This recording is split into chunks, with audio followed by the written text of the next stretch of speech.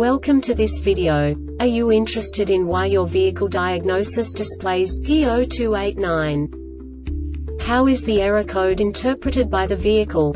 What does P0289 mean, or how to correct this fault? Today we will find answers to these questions together. Let's do this. First, let's look at the history of diagnostic fault code composition according to the OBD2 protocol, which is unified for all automakers since 2000. We divide the electric system of automobile into the four basic units. Powertrain, body, chassis, network. This distribution is defined in the first character code. If the second character is expressed as zero, it is a standardized error. In the case of numbers 1, 2, 3 it is a more prestigious expression of the car-specific error. The third character specifies a subset of errors. The distribution shown is valid only for the standardized DTC code. Only the last two characters define the specific fault of the group. Let's not forget that such a division is valid only if the other character code is expressed by the number 0. Our website airbagreset.sk produces useful videos for you. You do not have to go through the OBD2 protocol anymore to know how to troubleshoot any car breakdown. You will find all the diagnostic codes that can be diagnosed in a Audi vehicles. Also many other useful things. The following demonstration will help you look into the world of software for car control units. You unbelievably can move the video a bit further. The error code is split into two bytes consisting of 16 bits.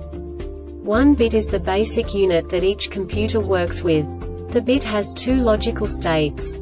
0, low level, 1, high level. By combining the first two bits, the basic character of the error code is expressed. The next two bits again determine the second character. The last beat styles of the first byte define the third character of the code. The second byte is composed of a combination of 8 bits. The first 4 bits determine the fourth character of the code. And the combination of the last 4 bits defines the fifth character. A single byte conceals 256 possible combinations. We now know in what way the diagnostic tool translates the received information into a more comprehensible format. The number itself does not make sense to us if we cannot assign information about it to what it actually expresses.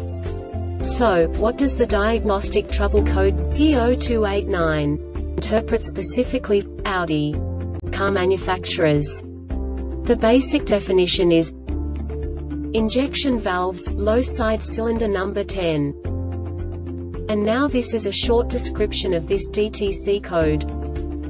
Injection valve commanded on engine speed higher than 80 rpm. This diagnostic error occurs most often in these cases. Check wiring check injector replace ECM. The Airbag Reset website aims to provide information in 52 languages.